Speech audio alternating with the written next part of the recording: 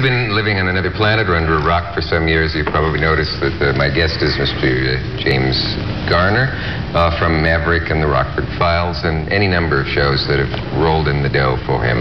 Except one. Why do you keep Why do you keep talking about rolled in the dough? Well, I'll, t- I'll tell you why. Because um, I know this is a little personal, but everybody's interested in money, and I was dazzled when I read the big bucks you pulled down on Maverick a week. Yeah.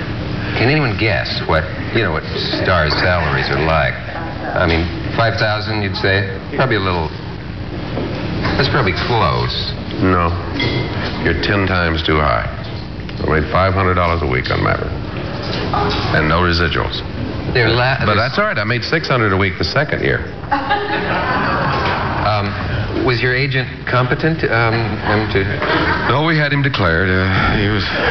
That is truly startling. I decided it was a typo when I read that. No, it's true. Uh, I was on under contract for the studio at the time, not for the series. Yeah. And of course, when I signed the contract, they said, "No, we don't want you in television. We want you to do movies."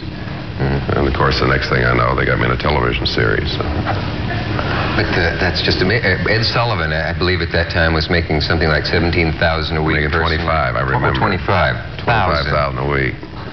Is it possible that you were supposed to be getting fifty thousand and the decimal point was in the wrong place? it could have been. that that can't even have been a low typical salary in those days. Well, at Warner Brothers, it's about average.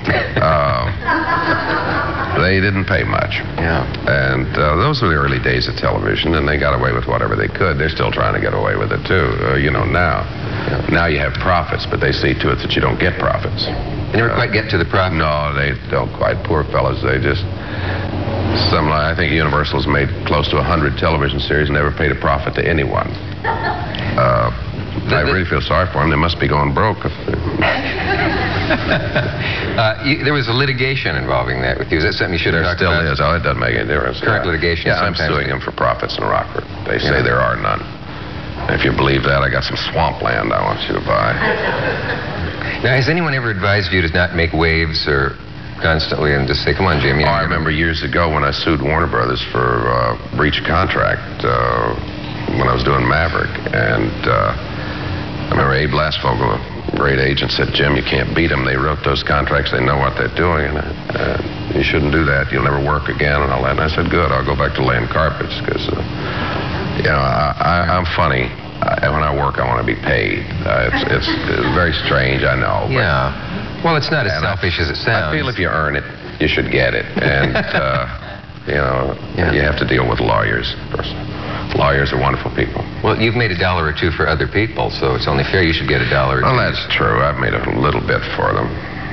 But, uh, no, I, I feel that the original Mavericks, I paid my dues. Mm-hmm. Uh, I worked for very little, and they were a big success. And all right, I was broke when I when I finished doing Maverick. But uh, okay, you know, you work and you pay your dues, but there comes a time when they're supposed to pay off. And I've had what have done? Four four television series. And two of them have been tremendously successful, and two weren't so successful. And the only one that is on the books that's in profit was one of those that wasn't a success called Nichols. That only went one year. That's in profits. You remember that? As fans.